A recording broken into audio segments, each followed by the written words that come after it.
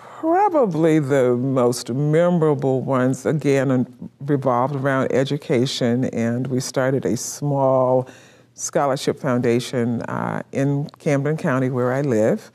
And we raised enough money to give students, not a lot, you know, $1,000 here, $1,500, but it was I guess the thought that counted, and we wanted to encourage not the A students because they get money, but we wanted to give to the students who that extra dollar we gave them might be the difference in their going to school and not going to school.